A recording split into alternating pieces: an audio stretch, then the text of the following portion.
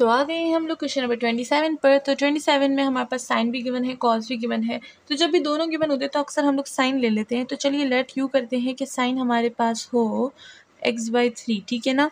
जब हमारे पास साइन एक्स बाई थ्री है तो जब हम लोग इसका डी यू निकालेंगे तो हमारे पास क्या हो जाएगा? हमारे पास हो जाएगा वन बाई थ्री कॉस और एक्स बाई थ्री हो जाएगा एंड डी एक्स हो जाएगा, ठीक है? क्योंकि यहाँ पर हमारे पास जो एंगल है, वो भी एक दफ़ा होता है तो हमने वो भी कर दिया है।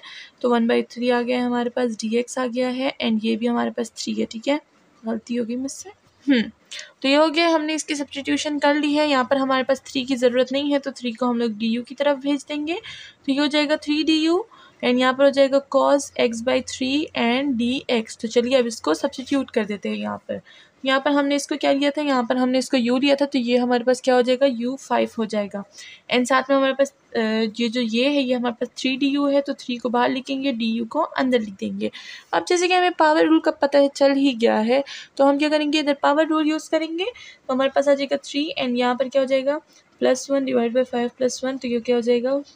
Six divided by six plus एक कॉन्स्टेंट एंड अगर हम लोग यहाँ पर देखें तो थ्री और सिक्स हमारे पास कैंसिल हो सकता है। बिल्कुल तो यू हमारे पास क्यूब हो गया, यहाँ पर हमारे पास आ जाएगा टू एंड हमारे पास एक कांस्टेंट इसको चले रीसब्सटीट्यूट करते हैं तो हमारे पास आ जाएगा sine six x by three and यहाँ पर हमारे पास आ जाएगा divide by two and plus one इसको आप बाहर भी निकाल सकते हैं, जैसे कि वन डिवाइडेड बाय यहाँ पर हो जाएगा sine six by x by three and plus एक कांस्टेंट। तो इस तरह से आप दोनों तरीके से लिख सकते हैं, आपकी अपनी मर्ज़ी है कि आपको जिस तरह से अच्छा लगे, ओके? इसमें आप अपनी मर्ज़ी चला सकते हैं। अब चलते हैं क्वेश्चन नंबर ट्वेंटी एट की तरफ़। अब जैसे कि हमें पता है कि टेंजन का डेरिवेटिव सीकन स्क्वायर होता है तो यहाँ पर अगर हमें टेंजन और सीकन दोनों मिला है तो हम लोग यू को क्या ले लेंगे? यू को हम लोग लेट करते हैं। Let u is equal to tangent x by two ठीक है?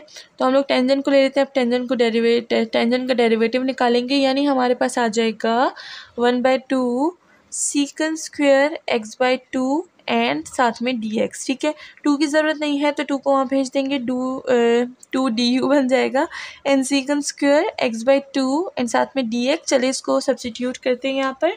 तो यहाँ पर हमारे पास क्या आ जाएगा? टेंजेंट को हमने यू लिया था यू की पावर सेवन हो जाएगी। सीकन हमारे पास है टू एंड डी यू ठीक है? तो हमने लिख दिया है पावर रूल अप्लाई होगा। टू हो जाएगा से यू एट हो जाएगा डिवाइडेड बाय एट प्लस एक कांस्टेंट एट और ये कैंसिल हो जाएगा तो वन बाय फोर आ जाएगा।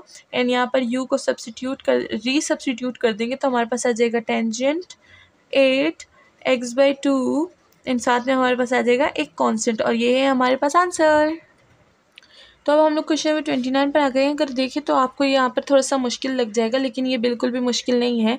चलिए लेट करते हैं कि हमारे पास जो यू होगा वो r cube divided by eighteen minus one हो जाएगा, ठीक है? इसको हम लोग सब्सि इसको हम लोग इसका डेरेवेटिव निकालेंगे सब्सिट्यूट करना भूल गई थी, ठीक है ना?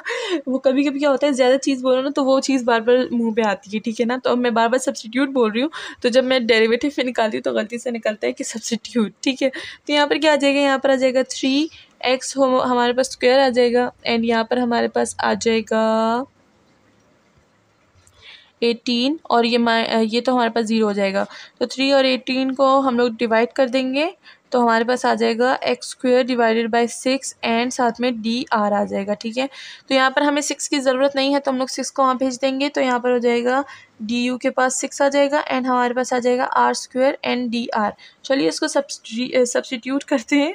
अच्छा तो यहाँ पर हमारे पास क्या आ जाएगा? यहाँ पर और यहाँ पर हमारे पास आ जाएगा सिक्स एंड डी यू हम लोग लिख देंगे। एंड ये हमारे पास क्या हो जाएगा? ये यू पे पावर क्या हो जाएगी? फाइव ठीक है? इसको हमने यहाँ पर लिया था तो फाइव हो जाएगी। तो यहाँ पर क्या हो जाएगा? वाई की पावर सिक्स हो जाएगी यू की पावर सिक्स हो जाएगी डिवाइडेड बाय सिक्स एंड यहाँ पर सिक्स दोनों कट जाएँगे प्लस एक कांस्टेंट तो यू को रीसब्सटीट्यूट करते हैं तो हमारे पास जो वैल्यू है वो r cube divided by eighteen minus one whole power six हो जाएगी प्लस एक कांस्टेंट और यही हमारे पास इसका आंसर है। इसको ऊपर कर दूँ?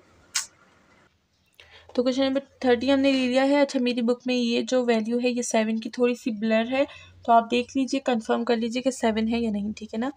तो यहाँ पर क्या हो जाएगा हमारे पास जो हम लोग यू को लेंगे लेट हमारे पास जो यू है वो हमारे पास हो जाएगा फाइव माइनस आर की पावर फाइव एंड टेन और होल पावर हो जाएगी थ्री ठीक है? इसको हाँ अच्छा होल पावर थ्री मैंने गलती से लिख दिया। सब्सिट्यूट कर रहे हैं पावर नहीं लगाएँगे।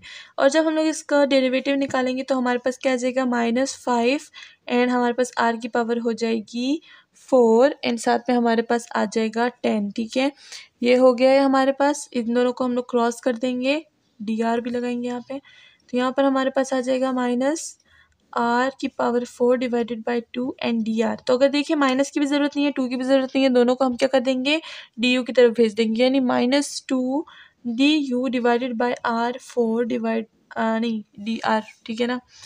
हम्म, पता नहीं आज क्यों बोलने में इतनी ज़्यादा क्या हो रही है मिस्टेक हो रही है। अच्छा यहाँ पर क्या हो जाएगा हमारे पास? आ, इसकी जगह हम लोग यू लगा देंगे यू की होल पावर थ्री हो जाएगी एंड इसकी जगह हमारे पास आ जाएगा minus two and d u लगा देंगे। हमेशा कॉन्स्टेंट को बस डायरेक्टली आप बाहर लिख दें ठीक है ताकि ज़्यादा स्टेप्स ना करने पड़े। तो यहाँ पर क्या हो जाएगा माइनस टू एंड यू की पावर हो जाएगी four divide by four plus एक कॉन्स्टेंट टू और ये गया। हमारे पास क्या आ जाएगा माइनस यू की power one by two and u की पावर फोर प्लस सी ठीक है? इसको री सब्सिट्यूट करेंगे तो हमारे पास आ जाएगी यू की value seven minus r five divided by ten whole power four plus एक कांस्टेंट ठीक है? तो ये हमारे पास आ गया। तो क्वेश्चन नंबर थर्टी वन की तरफ़ आ गए हैं हम लोग। यहाँ पर क्या होगा? सब्सिट्यूशन में हम लोग ले लेंगे।